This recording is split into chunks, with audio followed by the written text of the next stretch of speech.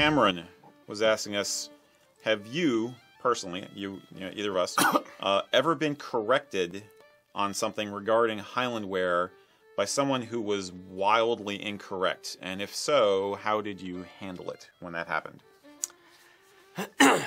Um, back when we first started the company, uh, 2003 ish, um, I had a, a gentleman come into the shop and he said, I want to get the County Donegal tartan. And I said, Sure, not a problem. Okay. Pulled out the book from House of Edgar. This one? Yep, that one. Okay, great. And he said, Yes, that was my great great grandfather's tartan. He wore that tartan. That's why I want to wear the County Donegal tartan. And I explained to him that Uh, the the Irish county tartans, while they are beautiful, were only designed in 1995 by a lady named Polly Wittering for the House of Edgar. You know, here, you know, here's the back of the swatch with the copyright date, and he kind of, no, my great grandfather wore this one. This is the one he wore, and it was it was more of a sales aha moment than anything, mm. where it's to a degree the customer's always right kind of situation, where it's just like, okay, your great grandfather wore it. Great. Let me take your measurements and take your Right, order. right. It's Moving you, know, on. you just kind of have to just move past it. Um, we're in a weird position where when someone tells us something that's incorrect, like patently incorrect, like verifiably date of copyright incorrect, we just kind of have to explain what the fact is to them and if they don't want to accept that as truth or if they don't believe us then we just kind of have to move past it so we don't get in kind of a confrontational situation I think that's I think it's that's just not just being in uh, in the business like we are, but I think that's just being gentlemanly. Fair, Anyway, fair. I'm not going to if somebody is sincerely seeking information from me and they want verification of what they think is true, or if they want to be corrected because they're trying to learn more, that's one thing. But if this is something that they've got a lot of emotion tied up in it, it's not worth it to me to shatter their illusions.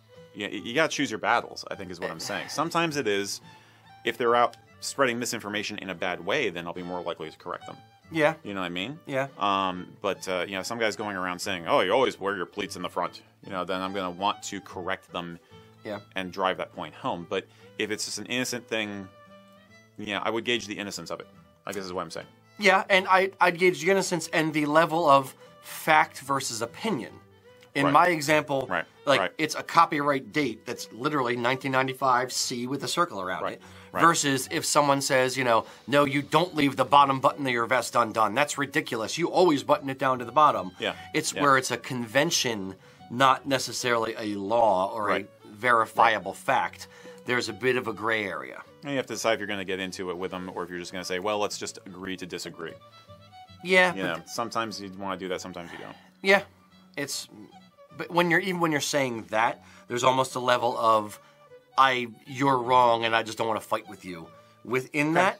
Um, but at the same time, yeah, it's politely kind of back out of it, like, oh, okay, yeah, and just you know, Have a great day. yes, Yeah. yeah, Yeah, this is simple. I can't say I've ever had a personal experience where somebody has done me or done that to to me on correcting me on what I was wearing. Um, I've had similar, vaguely similar things to what you're talking about here at work, but in my personal life, I can't say I've ever had anybody come up and and say, you know, that's not the way you're supposed to do that. I've never Yeah. had that happen. The- that's just probably luck of the draw at this point. But I've had it in, I've had it happen here, for where somebody is talking to somebody else, like father talking to his son and explaining how something is done, mm-hmm. and I will gently, gently nudge them, like, well, it's actually this, or if they're like, you know, oh, the ancient is the old is the is the darker color schemes, then I'll be like, no, actually, it's the modern. Like, here, here's the example, Yeah. kind of thing. So I, I would politely do it. I wouldn't try to embarrass the person. Right, right, right. Um, but if they if they want to believe misinformation, at some point you just kind of okay. Yeah, I think you're not. It, you're rarely going to win a convert or um, help somebody out by embarrassing. That's the other thing. Yes, I would agree with that 100. percent Yeah. Yeah, Cool. Okay. Well, I think we shot that shot that horse pretty well. yeah. Horse paste.